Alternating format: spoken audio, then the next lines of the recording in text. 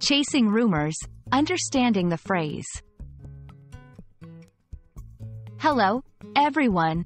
Today, we're going to explore the intriguing phrase, chase a rumor. This expression is often used in English, and understanding it can enrich your language skills. Let's dive into what it means and how you can use it effectively. Chase a rumor is a phrase that means actively seeking information or confirmation about a rumor.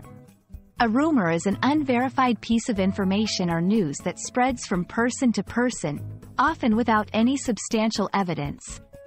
When someone is chasing a rumor, they are trying to find out if there is any truth to it or gather more details about it. To better understand, let's look at some examples.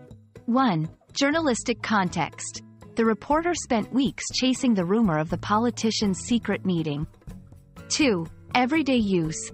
I've been chasing a rumor that our favorite restaurant is closing down, but I can't find any solid information. These examples show how the phrase can be used in different contexts, highlighting its versatility in conversation. Understanding phrases like chase a rumor is important because it helps you comprehend native speakers more effectively. You can express yourself more naturally in English. It enriches your vocabulary with idiomatic expressions. Be cautious not to confuse chasing a rumor with having evidence or proof.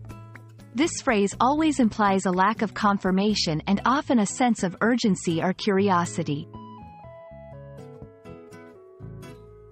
That's all for today's lesson on Chase a Rumor.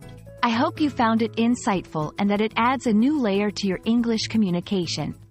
Remember, language learning is a journey, and every new phrase you learn is a step forward. Keep practicing, and see you in the next video.